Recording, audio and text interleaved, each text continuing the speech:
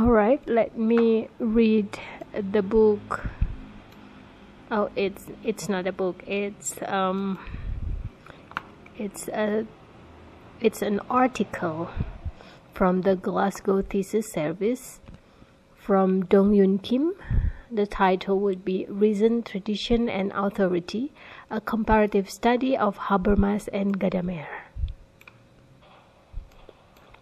Page 79.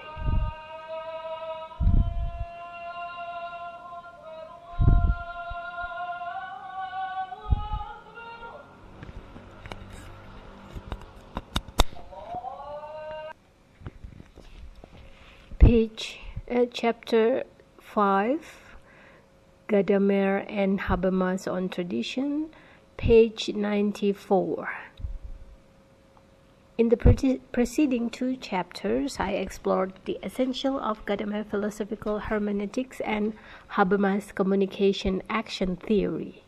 In chapter 3, I dealt with Gadamer philosophical hermeneutics in relation to its key features prejudice, tradition, and the fusion of horizons.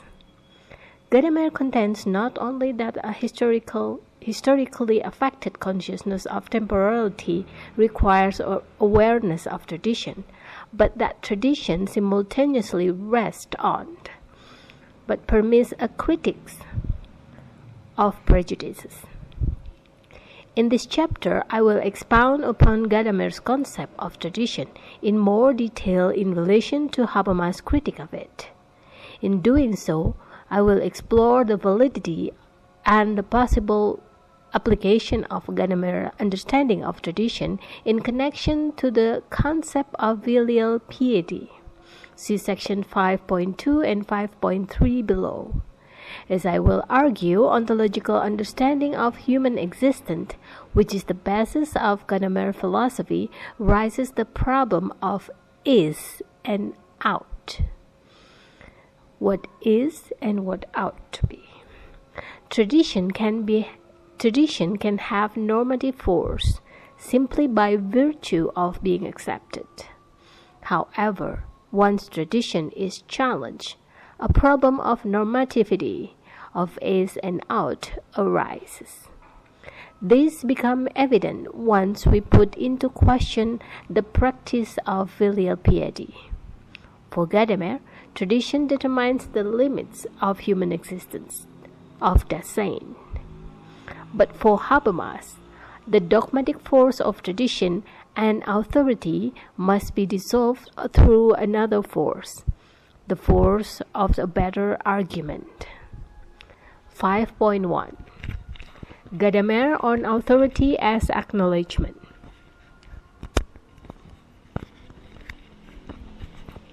As I have argued, the concept of prejudice, tradition, and the fusion of horizons are central to Gadamer hermeneutics. In his book Truth and Method, these notions are introduced under the title of The Historicity of Understanding as a Principle of Hermeneutics. Bilen, 2001, page 9. For Gadamer, such notions carry a range of negative implications and suggestions. Bilen, 2001, page 9. As the book t- titles implies, the primary goal is to show that the scientific methods cannot extend its range to the sphere of human sciences or Geisteswissenschaften, and that the scientific method cannot be identical to the search of truth. He maintains that truth can be experienced in the areas of art, literature, and philosophy. These are all modes of experience in which a truth is communicated that cannot be verified by methodological means proper to science. Gadamer, Truth and Methods, 1989, page XX III, triple III. It's the preface. It's the preface of the book. Gadamer seeks to defend the human sciences, which lies beyond the practices of the scientific methods and rehabilitate other modes of knowledge and truth which are premised on human experience. As we saw in chapter 3, 3 Gadamer condemns the Enlightenment distinction between reason and prejudice. He also accused the Enlightenment project of a false dichotomy between freedom and authority. Holub, 1991, page 60.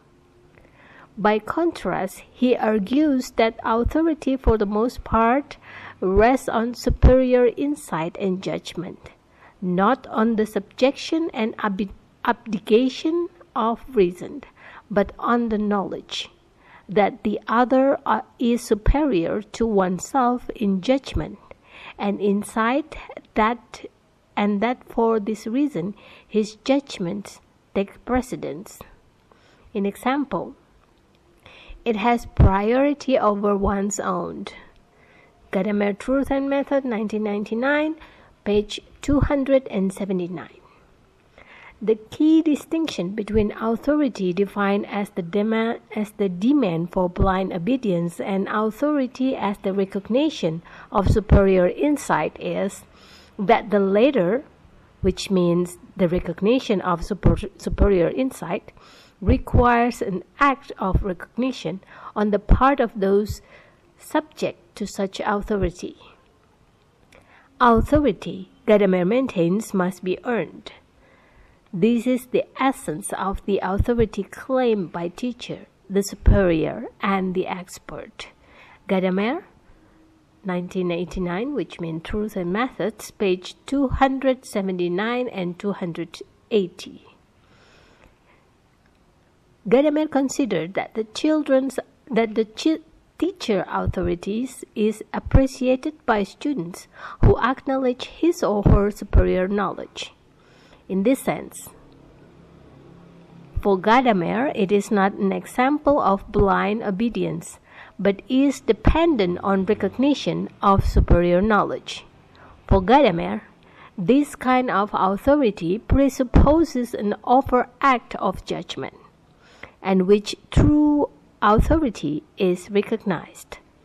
Moreover, Gadamer declares that granted authority exists in countless forms.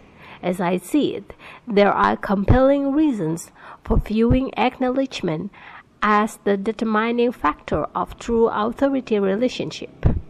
Gadamer Truth and Methods, 1989, page 285.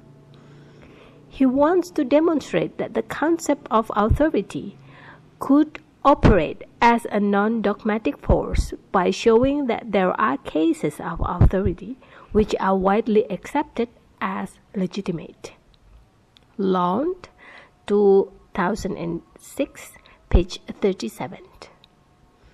In dealing with the notion of authority and tradition, Gadamer poses a question which can be taken as a challenge to Habermas' idea of critical reflection and emancipatory reflection. Whether reflections always dissolve substan- substantial relationship or is capable of taking them up into consciousness. Gadamer 1979, page 34. For Gadamer, there is a positive phase of authority that is dependent upon recognition, involving reflective approval of another person's superior judgment. However, for Habermas, the concept of, of authority is by definition dogmatic. Habermas 1977, page 357. Authority has connotation of something oppressive, frequently demanding leg legitimation through ideological means that provide the illusion of the manifestation of freedom. He argues, without proviso on principle of universal and dominance free agreement, therefore it is impossible to differentiate in a fundamental way between dogmatic acknowledgement and true consensus. Reason as the principle of rational discourses is the rock on which existing authorities split, not the one on which they are founded. Habermas, 1986b, page 316. What is at issue between Gadamer and Habermas is whether authority is by definition dogmatic and a threat to freedom, or whether reason in fact requires recourse to authority and prejudice. Holub 1991, page 68 and 69. Gadamer explicitly refers to the acknowledgement of true authority in contrast to dogmatic authority. True authority in contrast to dogmatic authority. A non dogmatic true authority rests precisely on the part of those subject to such authority. The Gadamerian notion of reflective acknowledgement then takes place only in a certain particular cases under particular circumstances. Yet, as Robert Paul Wolff notes, there are of course many reasons why men actually acknowledge claims to authority. The most common, taking the whole human history, is simply the prescriptive force of tradition.